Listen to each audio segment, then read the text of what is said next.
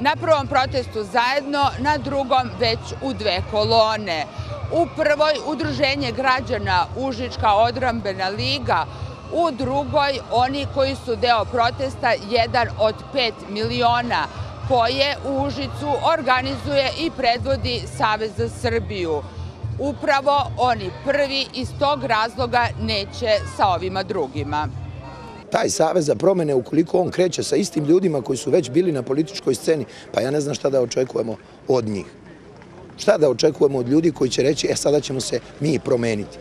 Naravno da aktuelna vlast je najveći problem kao individue, svi ovi ljudi odavde će biti na protestima, mi kao udruženje građana imamo svoje teme za razmišljanje kao ozbiljni ljudi. Prioritet Uničke odbrambene lige je rešavanje lokalnih problema. Večera su protestovali zbog namere gradske vlasti da prošire gradsko groblje Dovarje, iako postoji još jedno koje ima dovoljno kapaciteta van grada.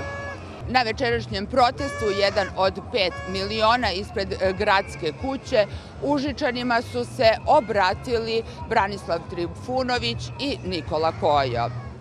Nismo se ni nadali da je moguće da u ovom trenutku imamo skoro 50 gradova u Srbiji koji šetaju.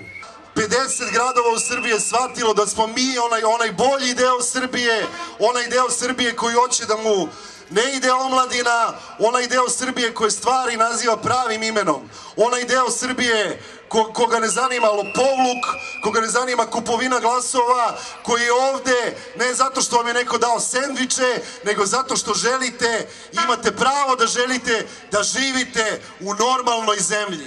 I to je sve što mi tražimo. Ako smo mi već uzrok tvoje bolesti, mi ćemo biti i tvoj lek. Vratit ćemo te na fabrička podešavanja za radikalske galamđije. Vratit ćemo te u opoziciju, u istoriju i ako bude sreće, u ilegalu. Ne brini, Aleksandre, mi smo ljudi koji će brinuti o svojoj zemlji i posle tebe.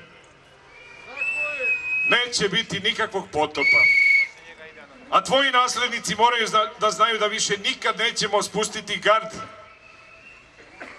i dozvoliti da tako lako i brzo budemo nokautirani. A ti, molim te, budi oprezan. Najopasniji je grogirani bokser. Spasiba za družbu. I sa večerašnjeg protesta, pored reči protiv aktualne republičke vlasti, zatražene su i smene čelnika gradskog rukovodstva. Protest je i ovaj put završen mirnom šetnjom centrom grada.